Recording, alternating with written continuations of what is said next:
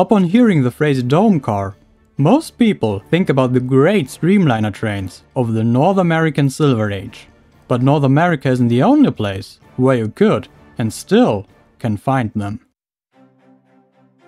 The 1928 consist of the original Rheingold, specifically developed and built for this train, was renowned for the unparalleled comfort it offered.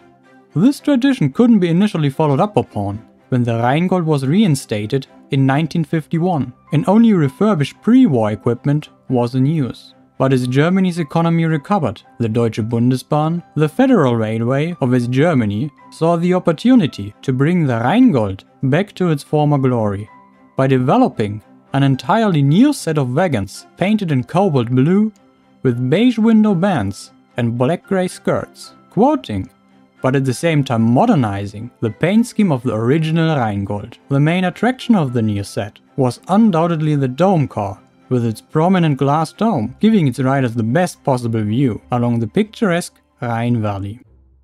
While the dome wagon served various purposes, omitting the need of additional specialized wagons, its main function is not actually the dome, but rather its bar and launch section, which is located in what usually is its back end.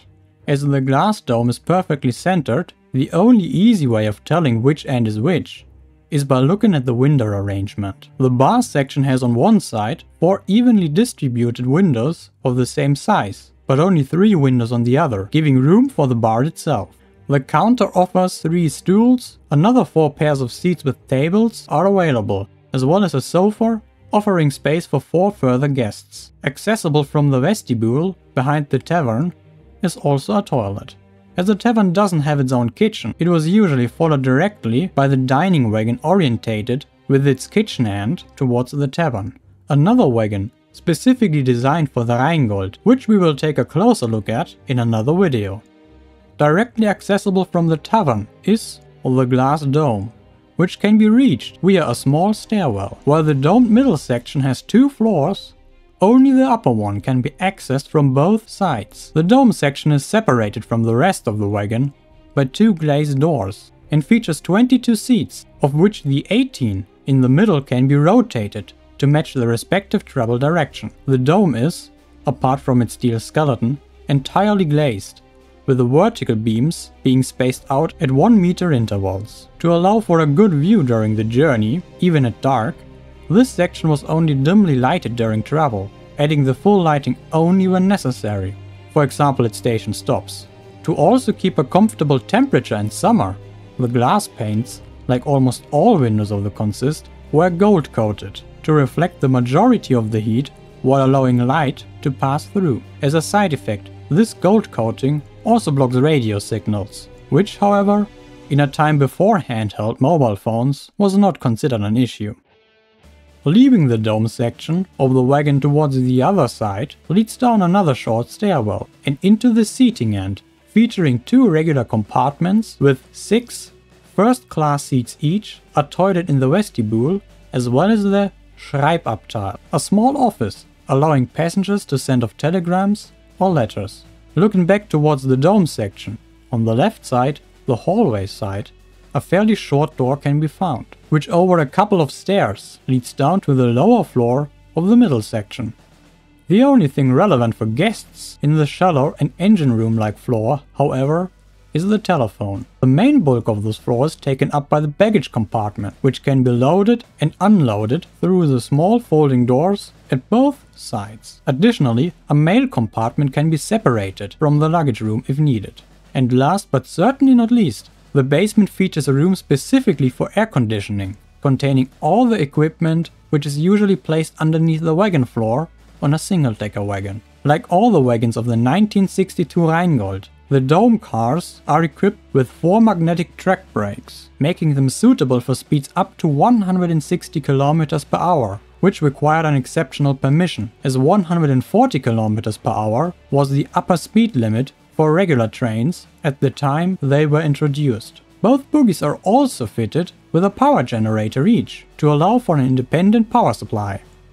Three examples were initially ordered and built for the introduction of the new Rheingold in 1962 and, opposed to the locomotives, delivered in time for the summer timetable. When in 1963 also the Rheinpfeil was re-equipped with new, luxurious consists, two further examples were ordered. They were almost identical to the original ones, with the largest difference being the use of significantly longer glass panels of the dome, decreasing the number of vertical beams dramatically, which were now spaced out at 2 meters instead of 1. The seats inside the dome were now upholstered in beige rather than blue, and the bold Rheingold lettering underneath the dome was replaced by the company name Deutsche Bundesbahn, as the Rheingold was not the only train anymore featuring these wagons.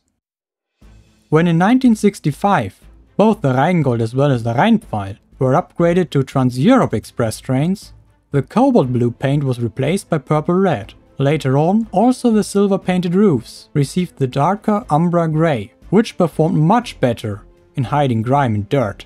As such, they were in use until 1976 when they were taken out of service and replaced by more conventional tavern wagons. These new wagons were very similar in their general arrangement, featuring both a lounge area and bar, as well as some first class compartments, and as such served the exact same purpose. But what was dropped, without any replacement of these new wagons, was the raised dome section, freeing up space for two additional first class compartments, as well as a proper dining compartment, separated from the lounge and bar.